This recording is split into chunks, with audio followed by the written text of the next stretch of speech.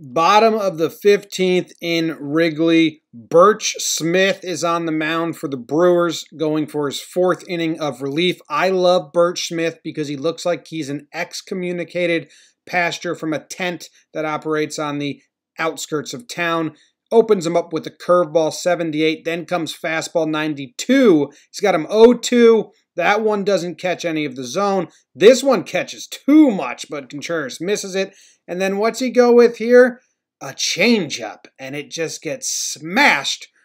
I don't know why you'd throw that. You had his bat ready for it. Anyway, he's saying, let's go, let's go, running the bases. He rounds third, got the finger up in the air. Third walk-off in five games. Now, here we go. We got, he's going to toss the helmet in the air. At the same time, Hayward's going to racket something right at his feet.